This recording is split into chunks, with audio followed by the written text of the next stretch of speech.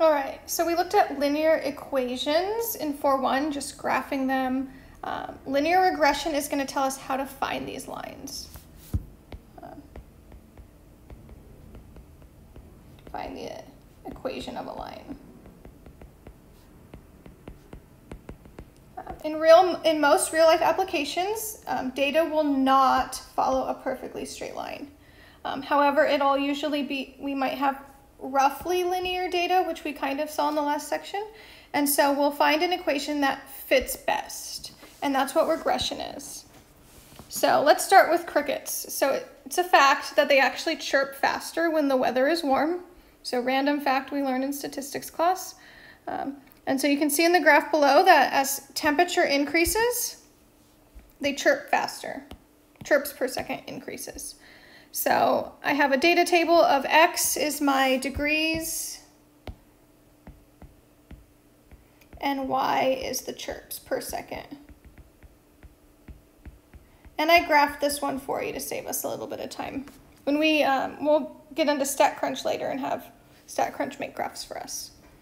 And so it kind of, if we look at the pattern, um, it's roughly linear, right? It's not a perfect line by any means, right? But there's definitely roughly a line in there. So I would say the relationship is roughly linear. And I also notice that it's increasing, right? It's going upward. So those are the two ways I would describe it. Roughly linear and increasing. Um, so what we're going to try to figure out in this section is what line fits best. Is it this line? Is it this line? Is it this line, right? This line? So that's what we're going to mess with in this section. So the line that fits best would be the one with the smallest error. And so in our next example, we're going to talk about how do we calculate error and decide which one has the least. So let's look at this next example called the least squares criterion. It's kind of, uh, we're going to figure out the square error. So I have a data set. I have it twice. And I come up with two different lines. So we'll call line A, I have in blue, is 0.5 plus 1.25x, and I've already graphed the line for you. And I'm going to compare it to another line, negative 0.25 plus 1.5x. I think overall both lines kind of look like they fit the points. If you can't see the points, they're right here. One, two, three, four. One, two, three, four, right? Overall, they both kind of fit the pattern of the points. So we're gonna measure the error to decide which one is better. So the error is just y minus y hat. That's this column right here. I organized it in a table. So we need to find all the y hat values before we can find the error. So again, y is the actual data, and then y hat is from the line. So you'll notice, let's color code. The X's are from actual data, the Y's are from actual data, and then Y hat is from the blue equation. So if we want to find Y hat for each one, we're going to plug in the X values. So 0.5 plus 1.25, and then we'll plug in 1. The second column happens to also be 1. So this again could be um, like when we were looking at TV size, they were the same size, but they were different prices. That's okay that the Y's are different. But the Y hats will be the same. And then we'll plug in 2 and we'll plug in 4. So we're just finding error. So let's find the Y hats and then we'll find error after. So 0.5 plus 1.25 times 1, oops.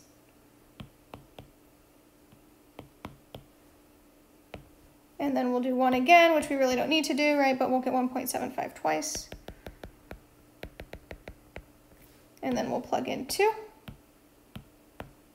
And then we'll plug in 4. And then I'll come back to the table. So we get 3 and 5.5. Cool. So let's fill those in. So these are the predicted values from the line. So these are the actual points on the line now versus the points of the data. So that's, hopefully we see the difference. So the blue ones are on the line, the black ones are the actual data values. I'll make those orange to color code. So those are, there we go. Those are these values. So then error is how far off are we? So we're just gonna do um, the real value, the real data value minus the predicted value. The real data value minus the predicted value. So if you don't believe me on the first one, I already did it. But we got negative 0.75, and we'll just continue. 2 is the real data value minus 0.75. 1.75, excuse me, 0.25. Next column will be 2 minus 3. 2 is the real value, 3 is the predicted value, negative 1. And then the last one I already did, 0.5. And then there is an issue, right, kind of with standard deviation, those positive and negatives. Um, technically, we could have really big positive and really big negative error, and they would cancel each other out. So we're going to square the errors. So this is just the error squared in the last column. So make sure you put parentheses on those negative numbers, negative 0.75 squared. Your answer should be positive. If it's not, the negative sign is an issue. 0.25 squared, um, no negative sign, so parentheses don't matter too much.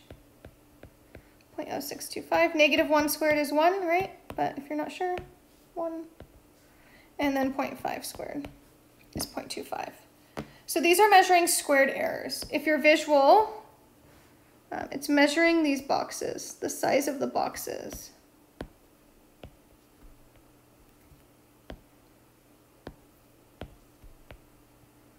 Right? So basically it's saying this distance is negative one, but if I do negative one times negative one, I get a one.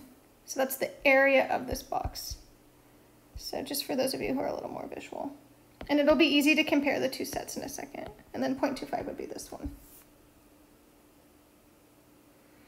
And then we're not really interested in an error for a single point. We're interested in overall error. So we're going to go ahead and add them up.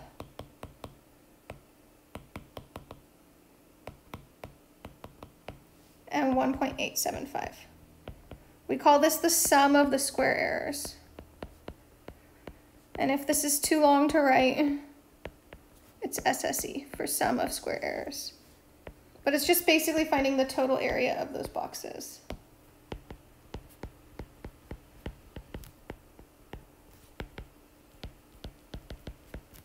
The boxes are square errors. So 1.875, is that good? Is that bad? Who knows? Um, and so that's why we need a second example to compare to. So we don't know if this is good or bad, but we will know if it's better than this line. So let's look visually um, at the boxes. So if we look at all these errors, I'm going to make them different colors again so I can mark them later. But if I look at all these boxes, do they look bigger or smaller overall? To me, I think overall they look smaller. So I would say the area of the boxes looks smaller. Which makes me think this one will have less square error.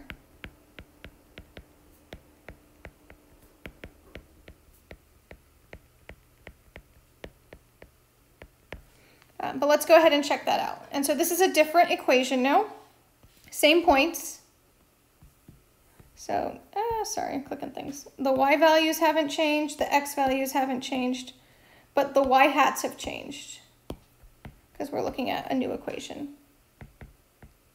Negative 0.25 plus 1.5x. So we will learn how to find these lines shortly. Right now we're just comparing two lines. So we're going to do the same thing and find all the y hat values from the line. So we'll do negative 0.25 plus 1.5 times 1, right? Oops plus 1 half times 1, 1. Plug in all the x's. y hat is negative 0.25. I'm not going to do 1 again. You can just repeat that number. 2, and then we'll plug in 4. So these are representing the points on the line. And we'll compare those to the actual data values. So negative 0.25 plus 1.5 times 1 Second enter is your best friend, saves you a lot of time.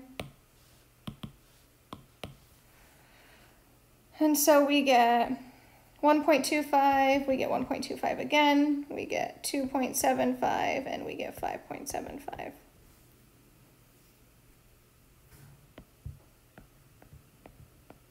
Cool. Let me know if you have questions. Um, the sooner you ask questions, the better, right before we build more stuff on it. And so then we're going to find the error and the squared error. So I find it more efficient to go horizontally, unlike last time. So what I mean by that is I would do 1 minus 1.25. You get negative 0.25, and then you can immediately just square that answer. So that way you don't have to type again. Cool. So then we'll do 2 minus 1.25. So we get an error of 0.75 and a squared error of 0.5625.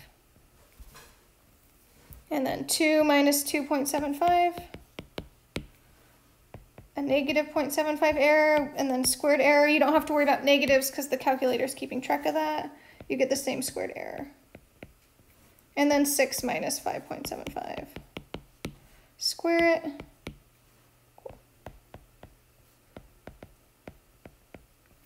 And so, again, if you're visual, um, these are just the areas of the boxes. So the first one is the orange one because we're at 1 and we're slightly below. The second one was this one. The third one, we're now at 2, so that's why we're here. And then the fourth one, we're at 4, and so that's this box up here. So again, I think this has less square error. The squares overall are smaller. But let's go ahead and add them up to find the sum of the square error.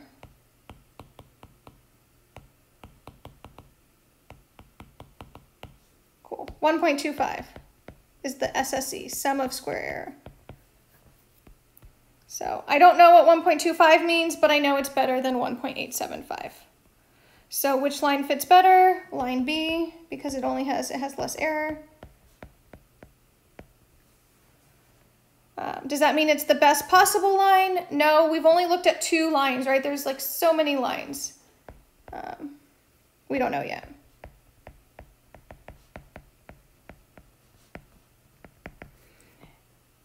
And so that's what regression will do. Um, so the line that best fits the data is the one with the least possible sum of square errors, which is a very complicated thing to figure out. Basically, basically we're like minimizing this number.